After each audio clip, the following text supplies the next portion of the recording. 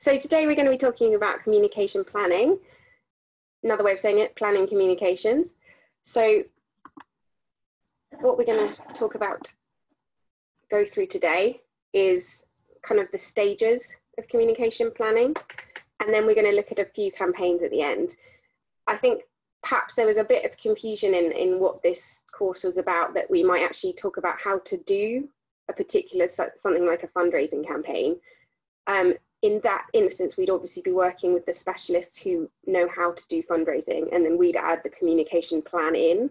So I think this is more about how, once you have an idea, how you then turn it into communications. But, and I think this quote is very apt. So the single biggest problem in communication is the illusion that it has taken place. We see this, we see this quote a lot, but it is because it's really, really true. Um, how many times have you said something to someone, but they've heard something completely different? I mean, I see this in day to day communications all the time. I mean, I find it fascinating because it's the area I work in. But how another person responds to what you've said is built on so many different factors. So, you know, their personal experiences, um, their belief system, the environment that they're around, the media. So that's why communication planning can be so critical so that you can try and understand some of that before you try and put communications out.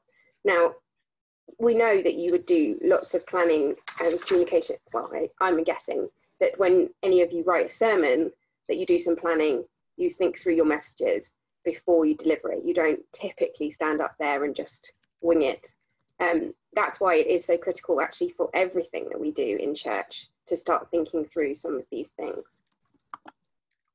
So a communication plan is like a blueprint of how you want to do something, when you're going to do it, with whom you're going to do it, and then also the means that you're going to share that information. And I'll just talk briefly through these nine stages. Don't be overwhelmed by this. Um, there are quick workarounds on some of these. You don't have to spend hours and days on them, but they really do help your thinking when you're kind of going through how to bring an idea to people. So first, the first one is objectives. It's, it's kind of what you're trying to achieve and the goals you have. Then your audience, who are you trying to talk to? Um, sometimes you might hear this called publics. That's quite a common name in communications world, but I think audience is, is an easier one to understand. Then what are you trying to say, the message, and what do you, how do you need to say it in a way that the people you're trying to get to will actually take the meaning that you mean. Lots of meanings there, but it's really critical because again, back to that conversation where someone may have heard something slightly different, it's anticipating that and making sure that actually what you say and what they hear is the same. So then the strategy is really important.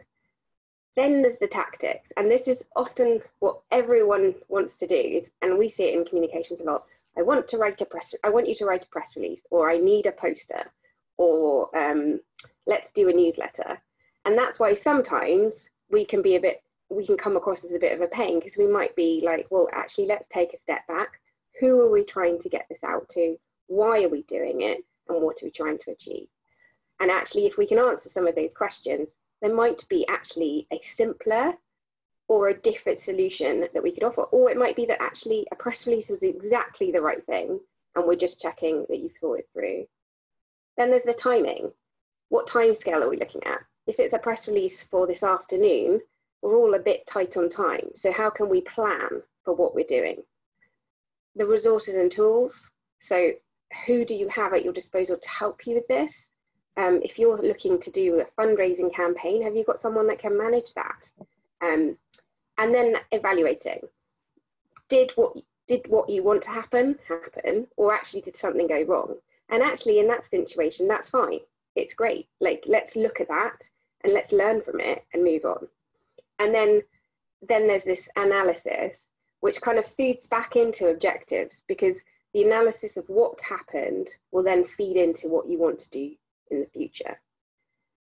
So that's a lot and it seems onerous and it seems like too much to do, but actually subconsciously we do do a lot of these things already. And the reason we do it is because it focuses us. It helps us set priorities. It helps us to kind of get agreement with each other, helps us align, and it ho- and it hopefully helps us see if there's any risks or issues down the line so we can minimize the impact that this will have on our communications. So there's, I'm going to look at this in kind of five main areas. What do we want to achieve? So this is usually your overall goal. Um, it's the purpose, it's the idea that you have and you want to address. So some of these things might be you want to be better known in the community. You want to recruit volunteers for a, a church action. You want to advertise an event. You want to fundraise for a particular cause. You might want to overcome prejudice or misinformation on a, on a particular subject. And there are loads of these. And I will say that we'll provide a how-to guide at the end, and that goes into much more detail on this. So, you know, you can see a lot of examples that are there. But in order to do those, so that big idea, you need to have an awareness of what's going on in the environment around you. And these are some of the things on the screen that can help you do that.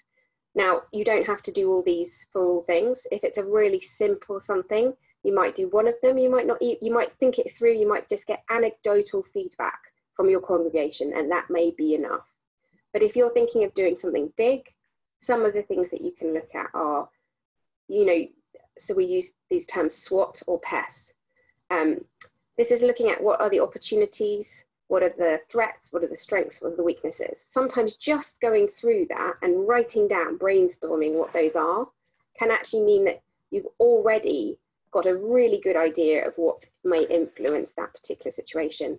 The other one is around politics, the economics, the social and the technology side of things. So that, you know, that it might be that it highlights that something might limit what you can do. And that comes into also what the constraints that you might face. So do you have a lack of resource? Have your team, you know, has half your team been furloughed? Has, you know, half your team off sick? these are all types of things from a resource perspective that will influence. Also, you know, if you want, if you, your end result ends up being a poster campaign, can you actually go out and do it? Probably not. So again, that's a constraint that you need to take into account. And also, what's going on in the world around you, such as what's the current perception of a situation? So how do people think about it? Um, what might stop them getting involved? So and then when you've looked at that, you can then set your objectives. And there are three types of objectives that we particularly see. So this is one's an awareness. So you want people to be aware. They know this information. So it's something that they just, they know, oh yes, the church holds, holds a service every Sunday. I know that. You may want it to be an attitude or opinion. So this is what they feel. So, and, and these ones are, you know, attitudes and opinions and behaviors are harder to change because they actually involve some kind of action or feeling. But it's what do you want them to be, to actually feel, believe, and then the behaviour is what you want them to do. So obviously, then simplest is what you want them to know, then it's feel, and then it's do. Um, and you then also think within those objectives, how can I make these measurable and sensible? And we use an acronym because we love an acronym in communications, as does everybody, which is around smart, think smart. So be specific, make it measurable, make it achievable, make it realistic, and have a time scale on it. So I thought I tried to think of just a personal example of somebody that you might set your own objective around being a Christian and your faith. So, for example, you could say, by June 2020, so you've put a time scale on it, I will have spent 30 to 40 minutes a day privately with God each morning, praying um, and talking to Him and reading the Bible. And I will have memorized 10 pieces of scripture that made personal influence to me that helped me grow in my walk with Him. And I might share some of those with my home group. So that would be a smart objective because you've got kind of things that you want to achieve out of that. A non-smart objective would be I want to grow my faith with, with Christ. Now, it's it is an objective, but we can't actually tell anything from it if we've achieved it or not. So that's how you can kind of start thinking through those kind of specific, measurable, achievable, realistic, and time bound. So with this research, it's told us what the current perception is of a particular situation, what the external world is doing, and what constraints that might stop us achieving this. So if I then move to who you want to talk to, so this is the who do we want to reach, who do we want to talk to? So your research probably will have helped you answer some of these questions already, but it's about who's interested, who has a knowledge of it, do they recognize that there's a problem or do they recognize that there's a need? Do they perceive they can do anything about it? Because often, sort of lethargy can stop people getting involved. And how involved are they already? So I'm going to look at kind of an extreme example of this, um, just because it helps talk through the stages. Um, but there are much smaller ones out there, so I don't want to, to scare anyone. But so if we take if we go back to January this year, we go back to there's small there's a number of news reports coming out of a flu in China. So what do we know? Is the is the public in the UK interested in it? They probably are. They're probably watching the news, but there's probably a low level of interest. It's something that's happening in the world. The knowledge of it is based on what they're seeing on TV. It's a problem for China, but it's probably not a problem for me in Woking. And do, do, they, do I perceive that I've got to do anything? Probably not at the moment. You know, it's, it's happening in China. So what, my involvement is really low. Fast forward, end of January, beginning of February. Um, the WHO has just issued their 10th report and said it's now a public health emergency of national concern. Um, we've had our first case in the UK, and the USA have shut their borders to anyone who's been into China in 14 days. So awareness has increased. We, we know more about this. We're starting to see it come home. We're starting to see that there could be a problem here. But you would say it was kind of probably moderate.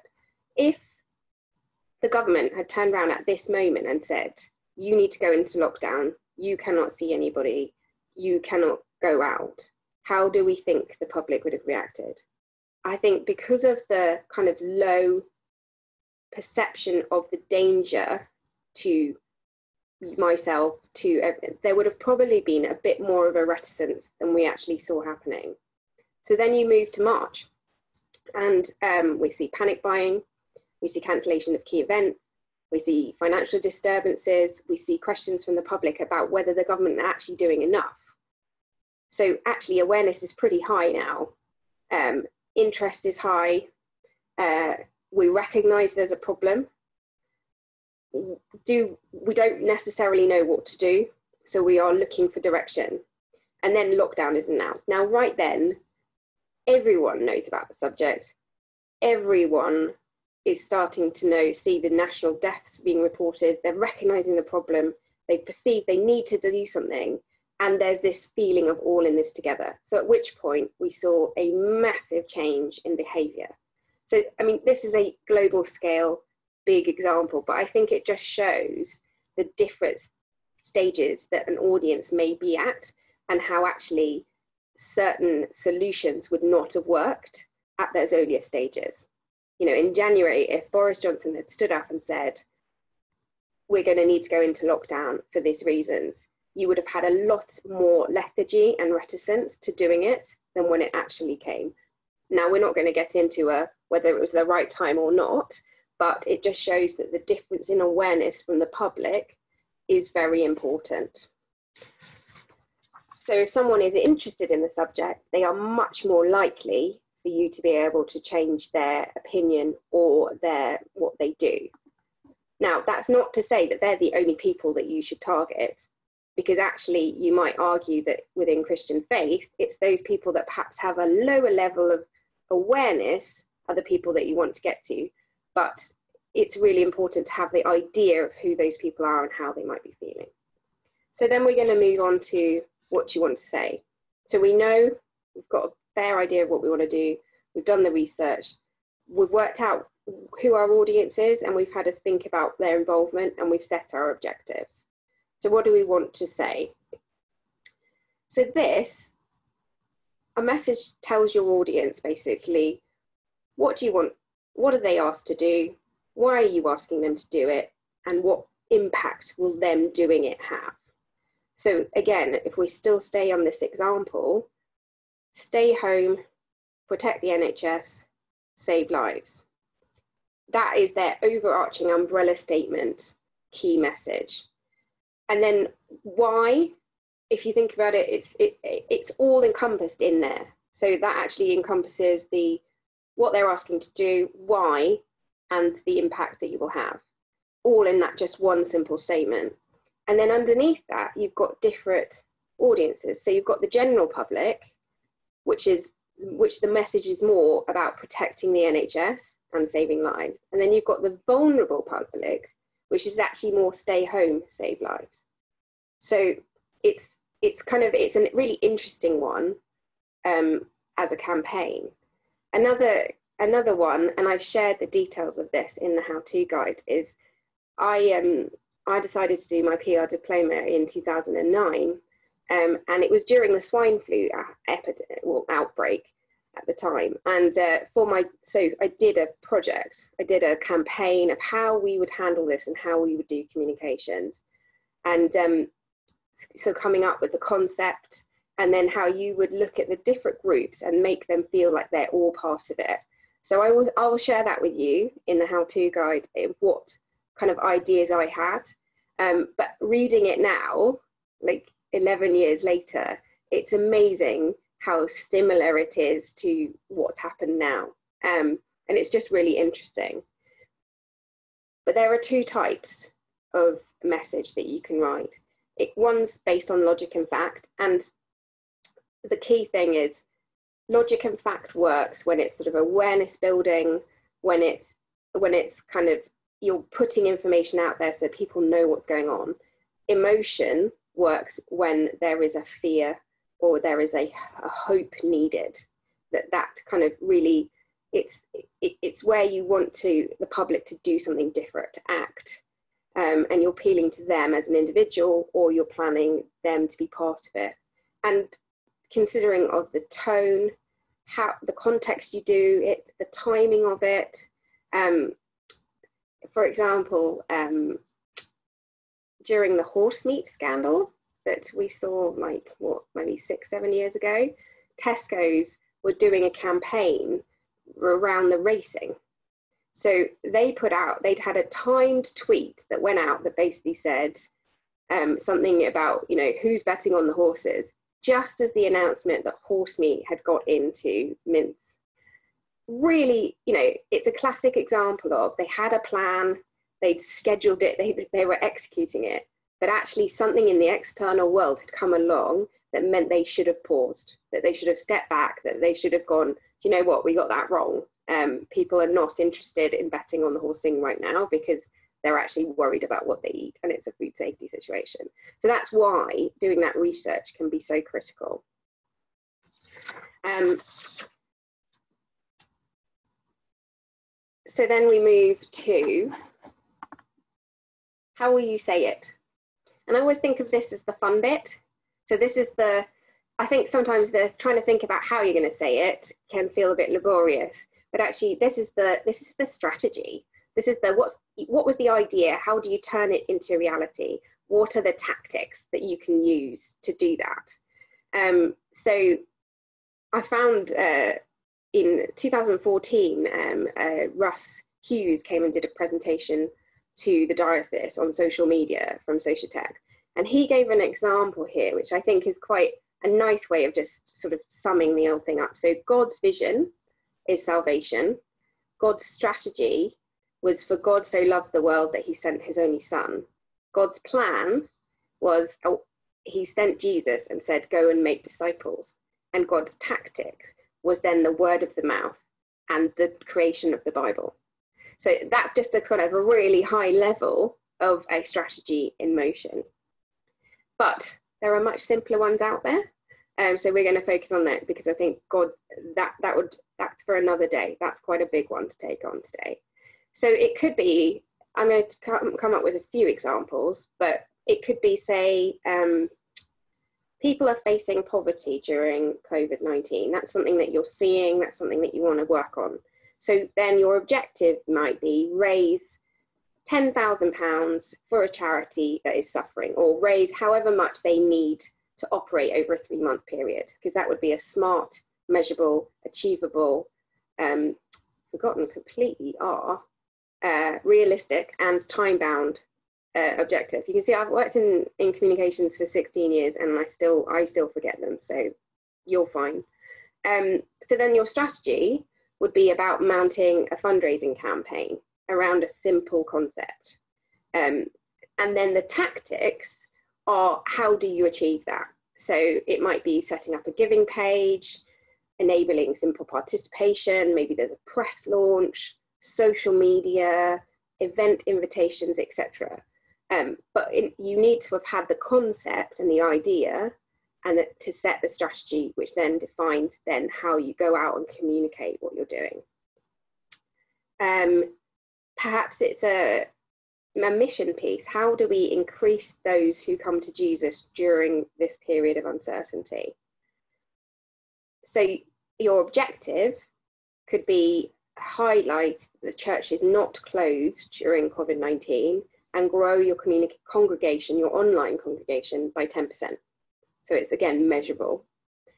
Um, now, this, the strategy probably would be mount a social media campaign um, so that you can kind of build awareness in the local community. It would be joining your, and the tactics are joining a local Facebook group, um, sharing content from any of your of your current accounts, um, put on special sessions exploring faith. We've seen the growth of Alpha during this period. So, you know, can you put on an online one that would focus on that and see direct delivery of your objective? So those are, there are a number, and there's loads of them out there, and, and we're not going to go into loads of detail today, but you know, we are there to help you if you need some help thinking through some of these things as you go back to your churches and to your parishes and your communities.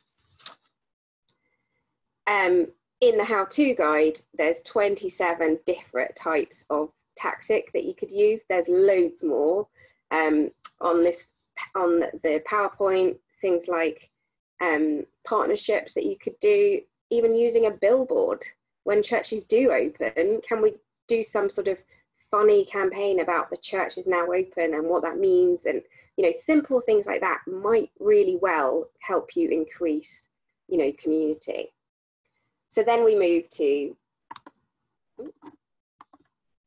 how do we get this right? You know, how do we know that we got this right? So um, this is very much about, and evaluation is always the thing that everyone hates doing. It's always the, last thing that everyone will do. They've moved on to the next big idea, or they're so busy, they're trying to set up the next meeting that actually, but it can be really helpful to inform not only what you do next, but also to understand if you if there's thin things that you need to change. So, um, and it could be as simple, and as again, when we went back to that beginning stage of the research, anecdotal feedback from the congregation. What's working, what's not? You know, did they ha- like it? Did they not? How would they have preferred it to have come to them? But then there's other things, you know, there is some clear things that you could look at. So, for example, with digital services, you know, are your how have your numbers grown? Are you plotting how many people join your online services an hour afterwards, 24 hour afterwards, and then you could compare that to the week week later. Did you do something different and meant you had more people? Was there perhaps a time of the day or a situation that was happening that could have influenced why that was? And these will all help you build as your campaign goes on. Engagement.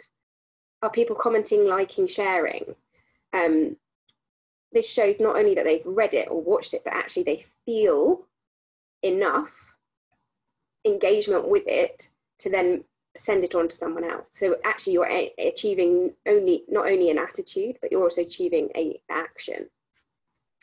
Website traffic. Other than, and all of these examples at the moment are digital because I've tried to focus on what we can achieve during this period. Um, but if you have a link to your website from something you've put out, can you see how many new people came through that? And then that will show how, you know, and if you've put it on multiple channels, are most of them coming from Facebook? Or in fact, actually, are they coming from word of mouth? Because that will tell you what your kind of congregation and your community is like. And then newsletter open rates. You know, if you're sending a newsletter and 5% um, are responding to that, then clearly there's something kind of something that needs to change. And there's loads more. And I mean, on here, I've just, on the presentation, I've just given some kind of ideas of what you could look at. And within the how-to guide, again, we go into that detail. Um, but, you know, it, it, it might be different every time you do it. So it might be that actually just one media interview is enough. That that's what you wanted to do. And then from that, I mean, we heard a lovely example um, from one of our churches, sort of just probably January time, uh, where they'd launched a new website. And, you know, a week after the launch, they had three new families in the congregation because of it. So it, it could be something as simple, but as really effective as that. And it's, it's having, it's thinking through how you could do those measures. Because if you think about how you do the measures at the end, often you haven't got the data to back it up from the beginning. So that's kind of really key. So then some examples of some types of campaigns. So I'm going to touch on a couple that are from the Church of England national team. So we've obviously got the National Hope and Faith at Home. Both of those were national media campaigns. So they were launched, um, they had op-eds in the Daily Mail on Sunday. They had um, you know, local media because actually, you know, Daily Hope was born out of the Diocese of Guildford, which, you know, one of our churches, it was their idea and it was taken on by the Archbishop of Canterbury, which is absolutely fabulous. Um, but they used national media as a start and then they did local media as follow up. And within six, oh, sorry, within 48 hours, they had 6,000 people ringing that phone line. So again, it's a measure of success that this and, and you know and they're continuing to measure that. And i was actually just trying to see if i could find the figures of you know a month in now what are we at? But unfortunately i can't. Um, but it's just a classic example of that's something that you could measure.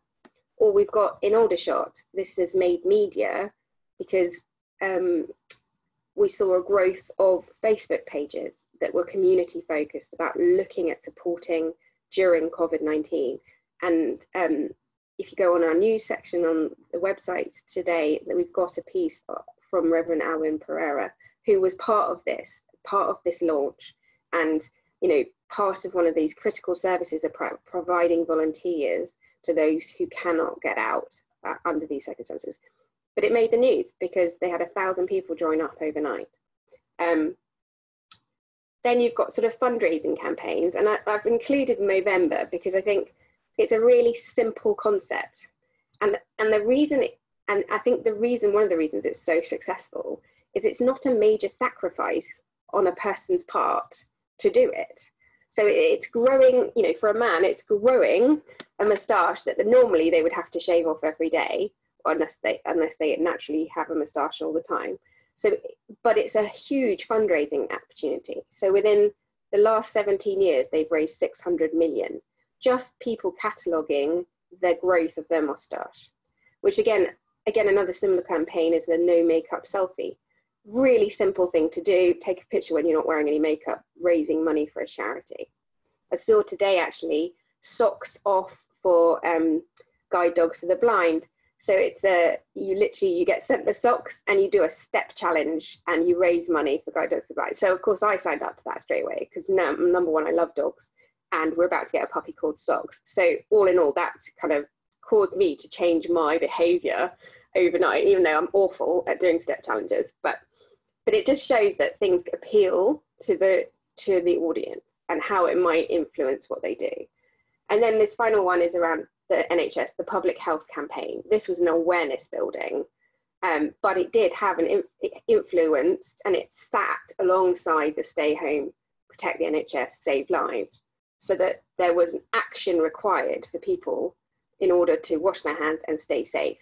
And that, so those often work hand in hand. And what we see is that anything around pets is always really popular.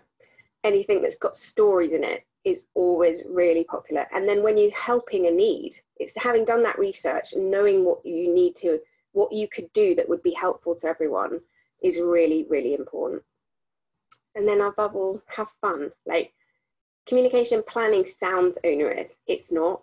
It's just really just thinking through these five key points. What do you want to achieve? Who do you want to talk to? Who, what do you want to say? How are you going to say it? And then how are you going to measure it?